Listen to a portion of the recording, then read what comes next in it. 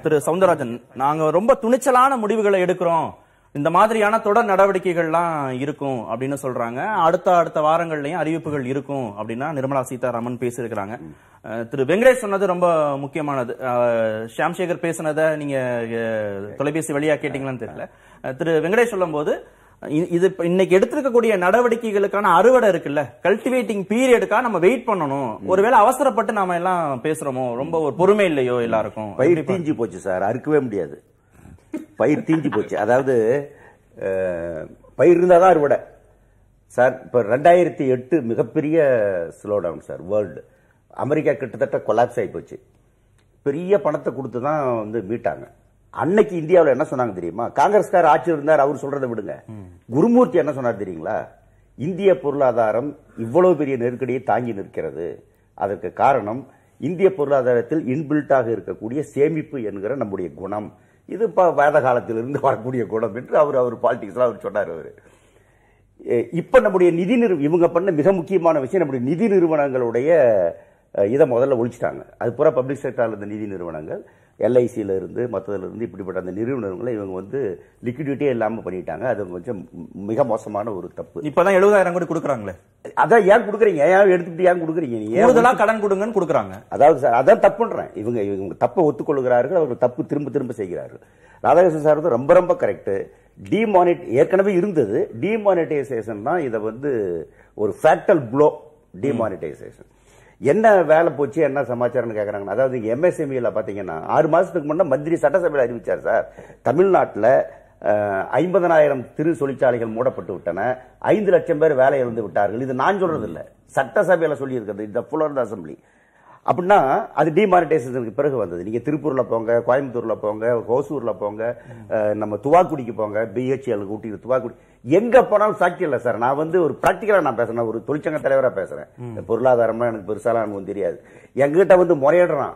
Sir பையனை நிறுத்தினேன் sir. அந்த ஸ்கூல்ல சேர்த்துருந்தா இனிமே ஃபீஸ் இல்ல சார். ஏன்னா வேலை போச்சு சார். சரி. எனக்கு ஒரே ஒரு சந்தேகம் நான் குறுக்கிடுறேனே. நீங்க வந்து தொழிற்சங்கத்தை சேர்ந்ததுனால நீங்க ஊர் ஊரா போறீங்க கள தகவல்களை பாக்குறீங்க நேரடியாக முதலாளிகள்கிட்டையும் தொழிலாளர்கள்ட்டையும் பேசக்கூடிய வாய்ப்புகள்லாம் இருக்கு.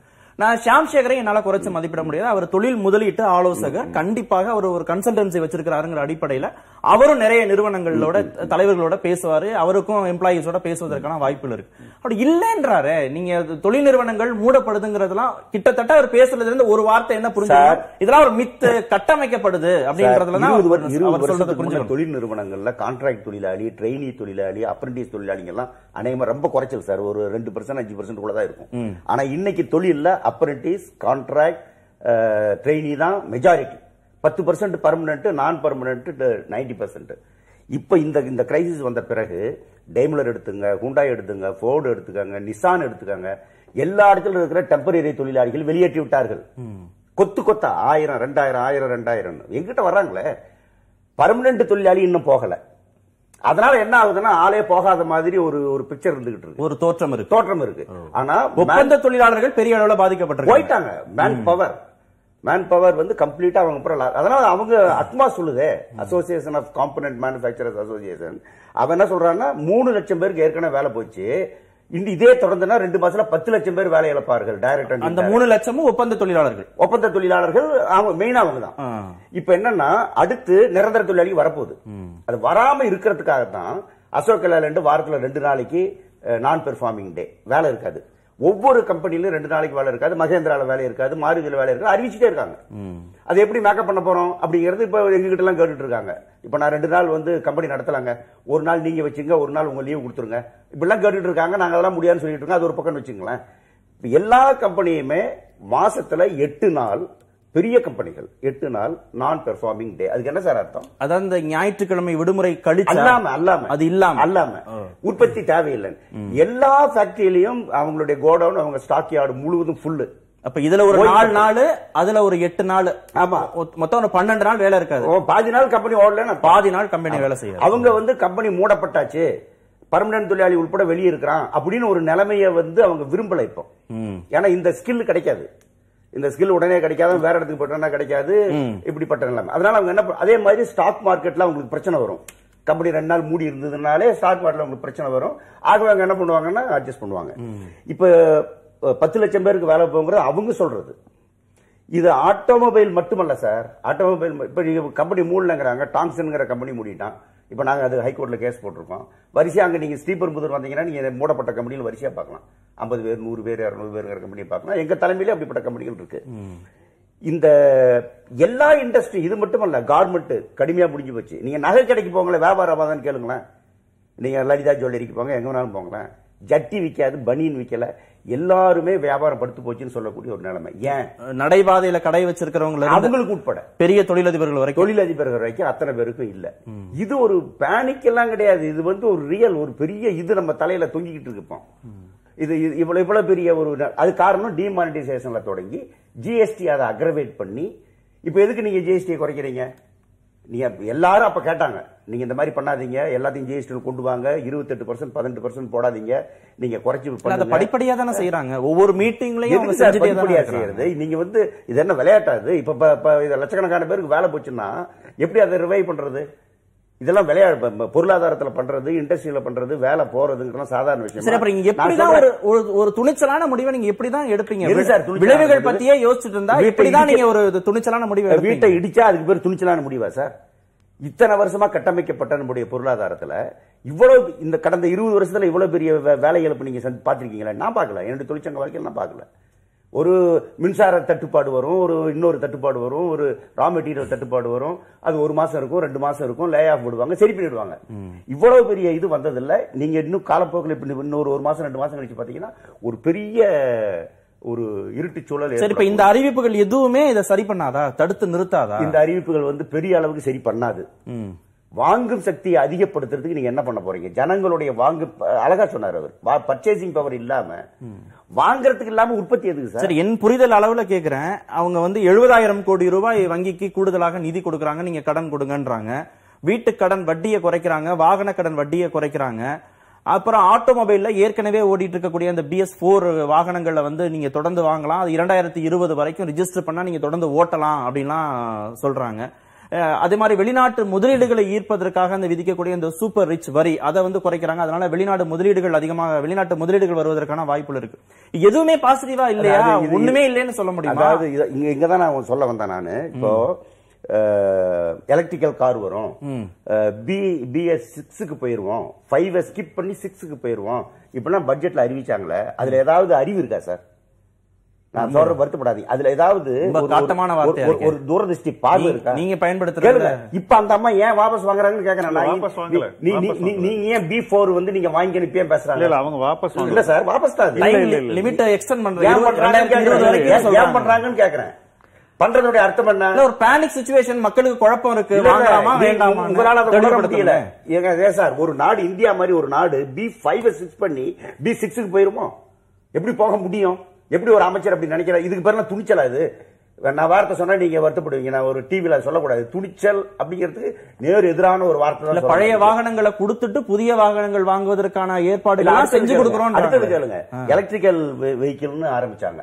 ஒன்னு ரெண்டு பேருக்கு அப்படி எல்லாம் வெளியே விட்டாங்க. வாங்குறவன் என்ன நினைக்கிறான்? ஒன்னு ரெண்டு பேர் வாங்குறவங்க கூட. இதே அங்க வாங்கணும் அதே வாங்கிக்கலாம் அப்படின்னு நிறுத்திக்கிட்டான்னு இவங்களே சொல்றாங்க. நீங்க ஒண்ணு புதுசா வருதுன்னா கூட அது வரும்போது சொல்லுங்க வர்றது கிராஜுவலா பண்ணுங்க ஸ்லோவா பண்ணுங்க. அதை விட்டுட்டு சொன்ன உடனே நிறைய பேர் மத்தியில இப்ப வாங்க வேண்டாம் அப்ப வாங்கிக்கலாம். அடுத்த ஏப்ரல்ல வாங்கிக்கலாம். அப்படிலாம் ஆகி போச்சு அதனாலதான் வாங்காம இருக்காங்களா இவங்க வந்து இப்ப ஒரு காரணம் சொல்லிக்கிட்டு இருக்காங்க. அப்ப நீங்க பேசும்போது ஒரு ஒரு அமைச்சர் ஒரு அரசு அறிவிக்கும் போது அந்த அறிவிப்பு என்ன பாதகத்தை உண்டாக்கும்? விளைவுகளை உண்டு பண்ணும். இப்ப இருக்கிறது என்ன உண்டாக்கும்? இந்த இதுல வந்து பத்து லட்சம் பேருக்கு வேலை போச்சு இருபது லட்சம் பேருக்கு வேலை போச்சுன்னா எப்படி சார் அதை சரி பண்றது? இப்ப என் பையன் வந்து ஒரு மெட்ரிகுலேஷன் ஸ்கூல்ல படிச்சுட்டு இருந்தான் சார். இவன் சொல்றான் என் ஒர்க்கர். இப்ப அவனுக்கு மாசம் ஐம்பதாயிரம் கட்டிட்டு இருந்தேன் சார் வருஷம். இப்ப என்னால முடியாது சார். இப்ப அவனை கொண்டு போய் கவர்மெண்ட் ஸ்கூல்ல சேர்த்துறேன் சார். இது இது நீங்க சரி பண்ண முடியுமா சார் இதை? அப்படி ஆயிரக்கணக்கான தொழிலாளி வீட்டுல அது நடந்து போச்சு இப்போ.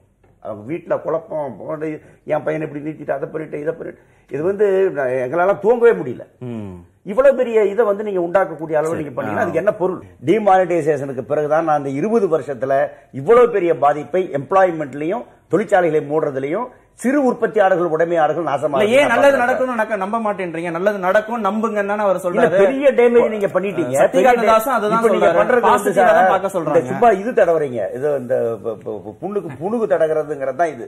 இது வந்து ஏதோ பண்ண சரி அவங்களே பார்க்க போறாங்க. ஒரு லாஜிக் ஒரே ஒரு லாஜிக் இருந்ததா புரிஞ்சுது. நீங்க நான் ஏன் நீங்க கார்ப்பரேட்டுக்கு செஞ்சிருக்காங்க சாமானிய மனிதர்களுக்கு ஒண்ணுமே செய்யலைன்னா நீங்க தொழில் நிறுவனங்களுக்கும் முதலாளிகளுக்கும் கொடுத்தா தானே அவங்க இன்வெஸ்ட் பண்ணுவாங்க.